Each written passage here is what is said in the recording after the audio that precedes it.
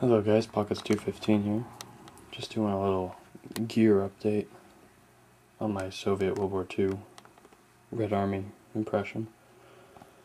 I'm doing it a little differently. I'm not gonna dress up and stand in front of the camera with some music.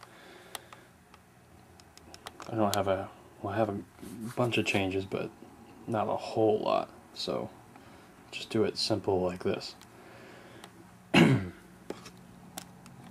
Alright, first off, I finally got myself an original canteen with an original cover for it.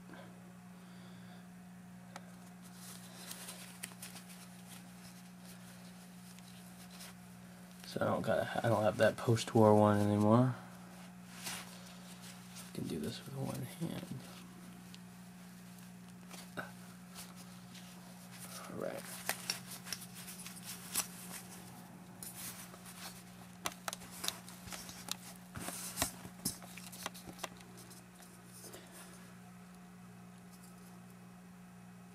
Doesn't have the chain anymore. It's pretty dented up, but that's cool. I don't mind that at all. It makes it, gives it character and stuff. Probably can't see the date at all, but it's dated 1940.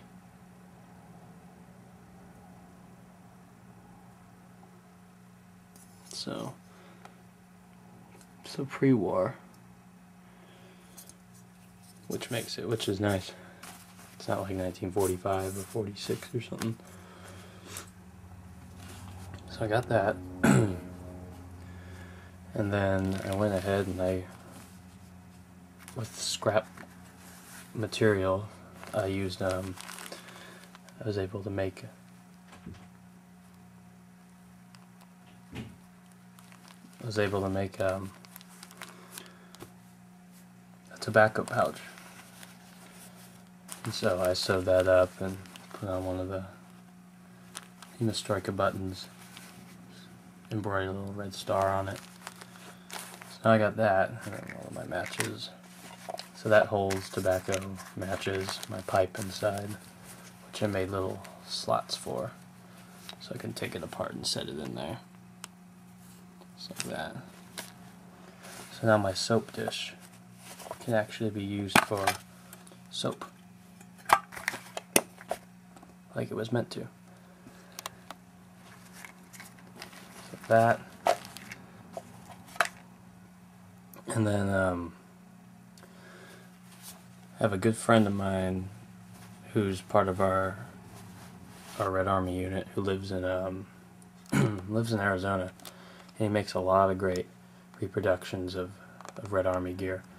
And what he went and did for me is he actually he made um, reproduction sew on star badge.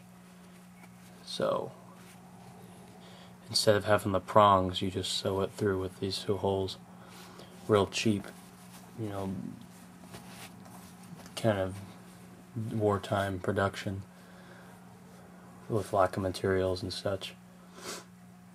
Also, I sent him my helmet and got it repainted.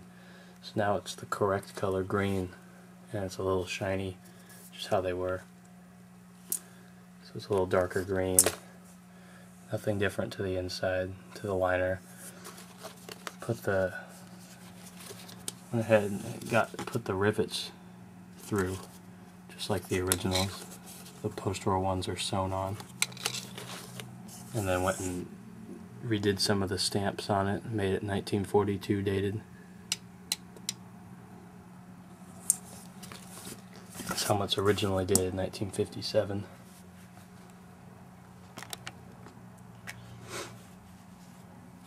He also made, uh, well, relined, not completely made, but you know, relined and got it um, wartime correct. Uh, Soviet uh, Red Army Ushanka.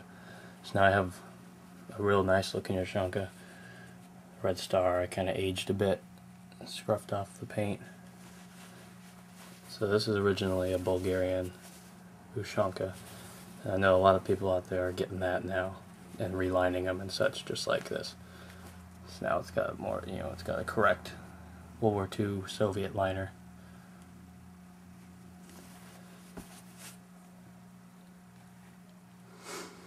He also made for me my shoulder boards and collar tabs for my shinel, my great coat. So finally have those on it. And I'm sure if you were paying attention, you saw this. These are already on it. showed in the my comeback Fallout episode. But yeah, now it now it looks real complete. It's nice. So I got those, and then I got my telogreika trousers. So now I got the full telogreika set. In fact, I cut off the knee pads and um, used that material to make my tobacco pouch And dyed it so it looks early war, real light color. Got the right belt. Went ahead and took this button off and put a original Zeltbahn button on. So it's like a a lot of soldiers would capture would just use whatever buttons they could to replace broken off buttons. And a lot would use Zeltbahn buttons or German trouser buttons or something. So that brings it adds a little unique addition to it. I did the same thing to my Nastroika my tunic. I did all the buttons with original Zeltbahn buttons. So it gives it that that real wartime look. Did it all on the pockets do it on the cuffs on both sides. So that's a new addition as well. And then finally, went ahead and as a as a pack filler, um, went ahead and got me a gas mask set. Now, these are all things that I've had before. So this is a light war type 2 bag. Button up, no pockets, simple. Just has two inside pockets.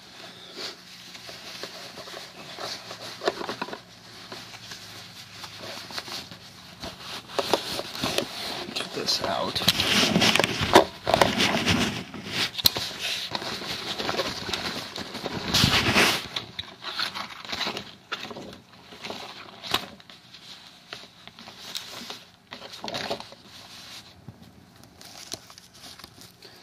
What it is is uh, it's my own 14 filter, which is like it's the correct filter type and size, and the colors roll dark, so it looks you know almost you know correct for pictures I've seen.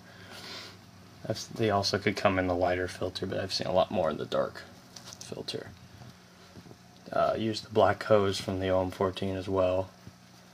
Because I've seen a lot, of, lot, but the the S, original SM1 mask was issued with black hose or a cloth hose, and I have I have both, but I have the black hose on it because I've seen more pictures with that. And for the for the SM1 replica, it's just a GP5. Looks really really close to it, small snout and everything. It's not quite small enough, but a little small as opposed to the to the army masks that have the the longer snout. And so it's not exact, but very, very close. And so, you know, I'm not not saying this is this is an exact copy and every reenactor should do this, but if you're if you don't want to spend a lot of money on trying to money and time on trying to find an original SM1 with you know the filter and the hose and everything in great condition and you want to have a, just a pack filler to either take to events or just have on display this would be the way to go in my opinion. Really cheap. Really affordable.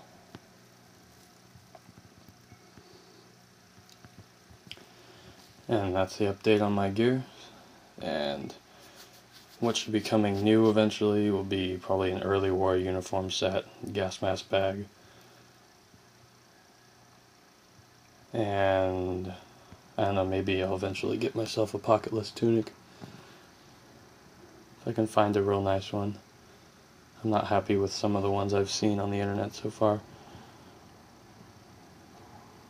So anyways, until next set of next update. See ya.